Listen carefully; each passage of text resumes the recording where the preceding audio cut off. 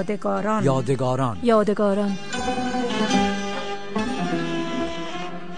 بنشین بر لب جوی و گذر عمر ببین. کین اشارت ز جهان گذران ما را بس.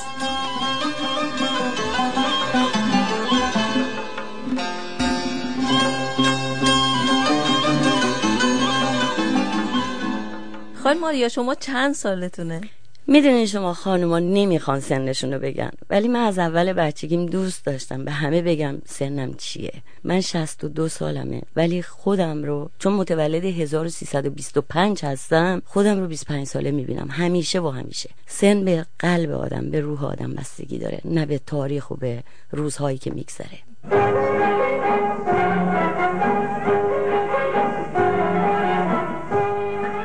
در ششمین برنامه یادگاران گفتگویی دارم با اکرم آریا اولین زن خلبان ایران که 23 سال پیش در سال 1985 به سوئد آمد. از اون می‌پرسم الان می‌تونین بگین مشغول چه کاری هستین؟ والا همه کار و بیکاری. من کتاب می نویسم یازده تا کتاب سال آینده میشه ده سال که شروع کردم به نویسندگی ولی امسال دهمین سالیه که من شروع کردم به جمعآوری شعرهای برای کتاب اولم. کتاب می نویسم و نقاشی می کنم کارهای فرهنگی و بقیهش دیگه یه مقدار به قول معروف زندگی. می‌تونم بپرسم چند تا فرزند دارین؟ چند تا نوه دارین؟ بله من پنج تا فرزند دارم. دو تا نوه دارم یه چهار ساله یه یک ساله. شما از فعالیت های توی سوئدتون گفتین. می‌تونین برگردین به خاطرات ایرانتون در ایران چه می‌کردین؟ من 15 سالم که تموم شد ازدواج کردم. 16 سالم که تموم شد اولین فرزندم به دنیا اومد. و بعد از اون هم به طور پشت هم من تا 19 سالگی سه تا بچه داشتم. 25 سالم که شد 5 تا بچه داشتم. بعد دیگه گفتم خب دیگه کافیه. باید از خونه بیام بیرون و فعالیت بکنم. ولی در طی این مدت که من بچه هم به دنیا می آمدن چون تحصیلم کامل نبود شوهر منم روز که می‌خواست با من ازدواج کنه قول داده بود که من بتونم ادامه تحصیل بدم چون بسیار مرد تحصیل کرده روشنفکر و پیشروی بود. بچه ها که به دنیا آمد... می آمدن در طی این فاصله من تحصیلم رو ادامه دادم. بعد کورس های مختلف خیاطی و زبان و نمی‌دونم رانندگی و همه اینا رو رفتم. تا آخرین فرزندم که به دنیا اومد دو سالش بود که دیگه من از خونه اومدم بیرون به قول معروف. کار می‌کردم توی دوتا اداره بیمه. مشاور بیمه بودم و مدیر آموزش. بعد خودم دفتر شخصی زدم یعنی شرکت شخصی زدم برای خودم. بعدش هم که دیگه علاقمندی که پیدا کردم یعنی تو وجودم بود شاید و یک هو مثل یک گلی که باز بشه در عرض یک شب. علاقمندی من به پرواز بود. از آواز دلم زمزمه ساز دلم من به ای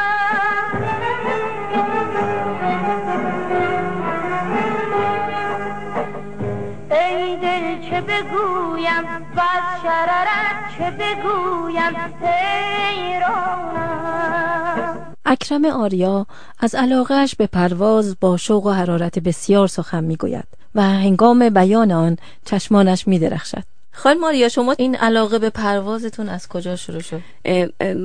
اگر راستش رو بخواین یه برنامه تلویزیونی ما می‌دیدیم شب نشسته بودیم من و شوهرم و بچه ها یه برنامه بود به صورت آگهی بود حالا یا رپورتاج بود هرچی که بود نشون می‌داد که دو تا از خواننده های ایرانی دارن پرواز می‌کنن. من برگشتم به شوهرم گفتم نگاه کن اینا می‌تونن پرواز کنن. من اینجا نشستم. گفت تو علاقه داری؟ گفتم آره چرا که نه. مشوقتون خیلی زیاد خیلی زیاد. خدا رحمتشون کنه. ولی به هر حال بعد من فردا صبح شروع کردم. اینقدر به این بر اون بر رادیو تلویزیون روزنامه ها زنگ زدن تا مکان رو پیدا کردم. باشگاه هواپیمایی شاهنشاهی. با شوهرم رفتیم اونجا. اونام استقبال کردم ولی فقط من مشکلم این بود که می‌گفتن تو پنج تا بچه داری. گفتم هیچ اشکالی نداره. بعد به من پیشنهاد دادن گفتن اول برو گواهینامه هواپیمای بی موتور بگیر. اگر تو این راه موفق شدی و دیدی نمیترسی و خوشت میاد و می‌تونی ادامه بدی بعد می‌تونی بیای برای هواپیمای با موتور. من که وارد شدم من یه مقدار فرق می کردم با بقیه. از نظر اینکه من پنج تا بچه داشتم. مجله زن روز وقتی رپورتاج نوشت عکس من روی جلد مجله بود. نوشته بودن پر تجربه ترین زن خلبان ایران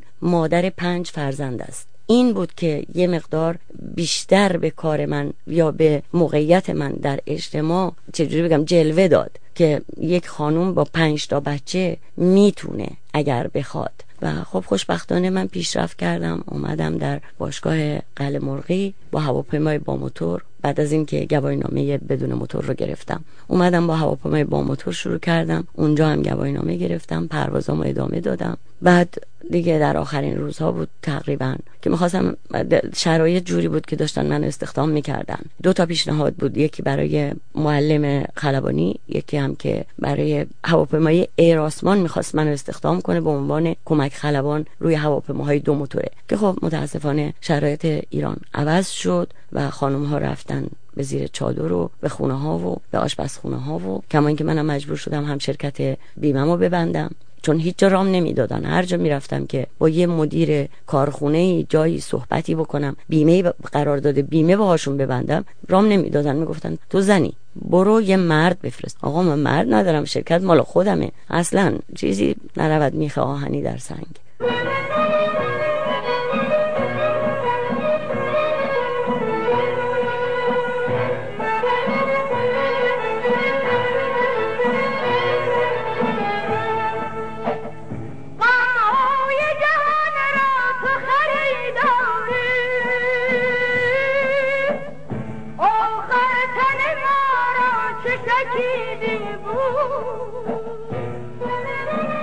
اکرم آریا با شور و هیجان از گذشته و از ایران می‌گوید.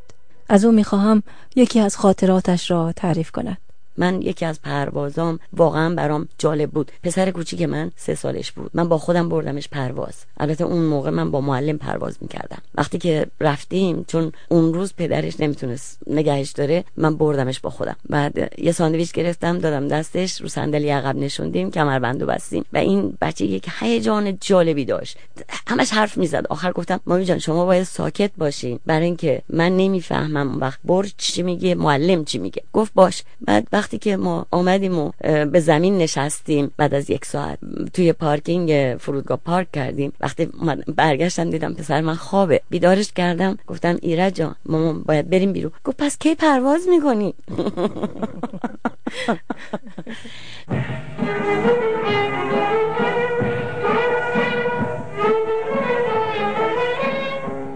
من یه شعر فارسیم هستش که این ملکه ذهنم شده و خیلی هم دوستش دارم. یک موقعیت خیلی خیلی خاصی هم اینو گفتم. تو را دیدم میان قطره اشکم که از چشمم روان قلتیده برگونه به دامانم در افتادی و ناپیدا و گم گشتی. نشان جای پایت را سرانگشتان من دنبال می کرد به روی گونه سردم. نمی‌دانم چرا. نمی‌دانم چرا روزی تو را در چشم بنشاندم میان مردم دیده. کنون دیگر جدا افتادی از یادم کنون تنها و آواره اسیر پنجه بادم.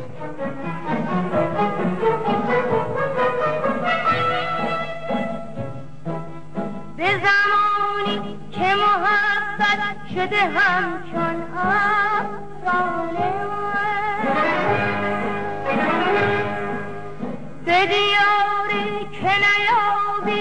خبری از جانان دل رسوا دگر از من تو چه خواهی دیوانه دیوانه؟ دیوانه